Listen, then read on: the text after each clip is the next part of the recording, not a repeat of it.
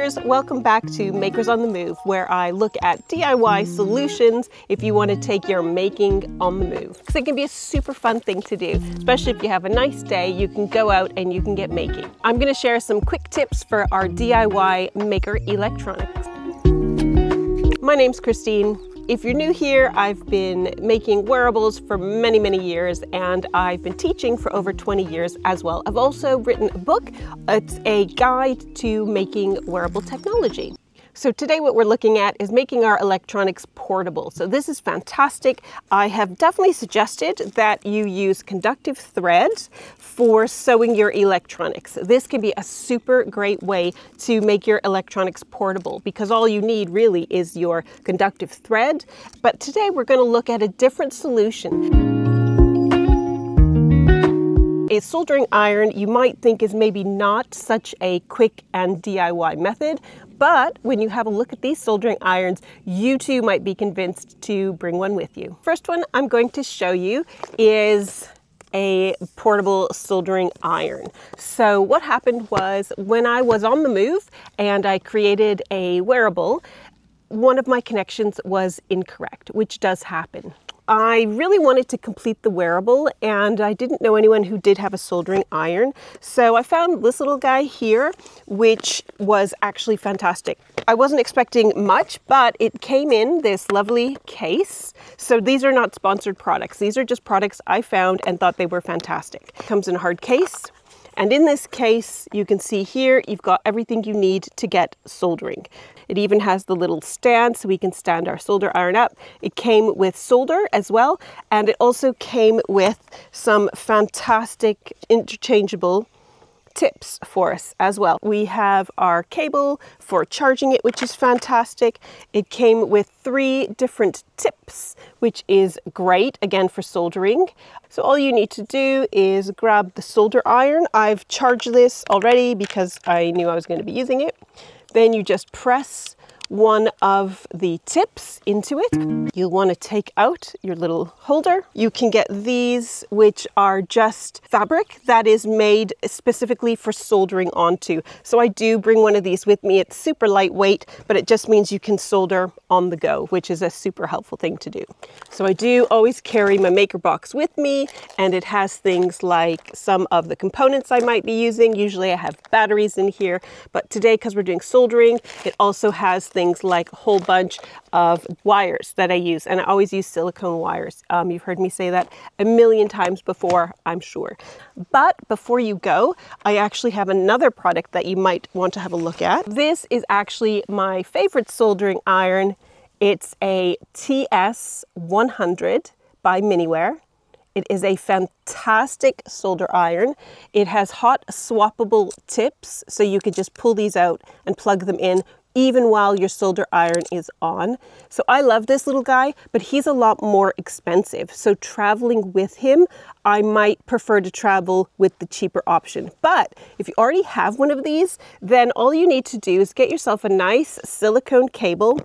And this here is a amazing charge point. So it's a PD charger. And this means you can take this guy on the go. Get him plugged in to your charger. And for Maker on the Move, this is perfect. So we'll turn this on. I've got him up to 410 and he heats up super quick when you're using this, super quick. And then this way you can see exactly how much power you have left. You've got the full power of an amazing solder iron. So for Maker on the Move, you could try this combo. The other thing about these battery packs is this one also has the charge point so you can have it charge your phone, wireless charger. So these are products that I have personally purchased and that I personally use when I am making on the move. Depending on where I'm going, I will usually take my lovely little Miniware with me, but I can't believe I found this beauty for 20 bucks.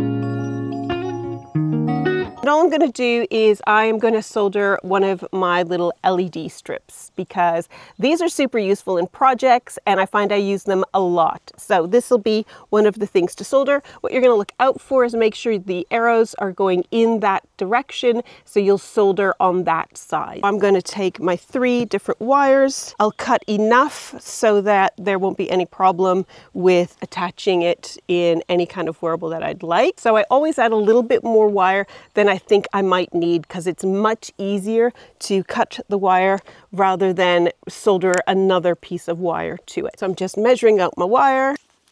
We're going to turn the iron on. It's got our power button in the middle and then the temperature will come up and we can select our temperature. Here we can see our solder iron is up to temperature and now what I'm going to do is just solder on to the LED strip here. So for me I'm going to just literally tap some solder to just cover each of these pads. Once that's done we're just going to remove a little bit of the ends of the silicone and then I'm going to do similar. I'm going to give them a twist. And then I'm going to add the solder to these wires.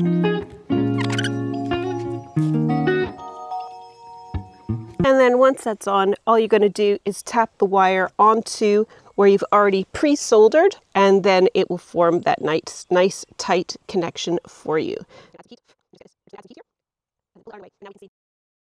So that was using our portable solder iron. As you can see, we've got no wires. It's been charged. You're not going to be able to solder huge projects, but to be able to fix your circuits, it's a really good investment. It also has a light that comes out, which really helps guide your soldering. So this would be one of my highly recommended products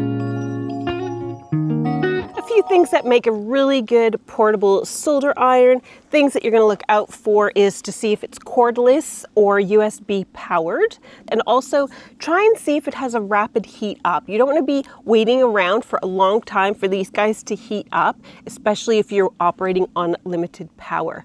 The other thing is you're going to want a set that is very lightweight. This one here is very lightweight, very compact for this one. It is a little heavier, but it is a smaller device. So again, depending on where you're traveling to and what you're making, it'll be up to you for you deciding the types of solder iron that you want. Also important is check that they have adjustable temperature. Both of these solder irons do have adjustable temperatures, so that might be something you factor into your decision. One last tip is when you're packing away your solder iron, I usually have a dedicated separate container. So this one did come with its own little pack, so that's great, but this one did not. So I have a little plastic container that I use where I can store my items like my solder, my tip tinner, my brass for cleaning off my ends, and so on. So you might want to create a little dedicated container so that you can keep all your things with you. Even things like your wires are going to be pretty important. Please comment below if you have any questions or if you don't know where to start. I'm always happy to help. Thanks so much for watching Maker on the Move. I hope it's inspired you maybe to get making on the move. It's a bit easier than it maybe sounds.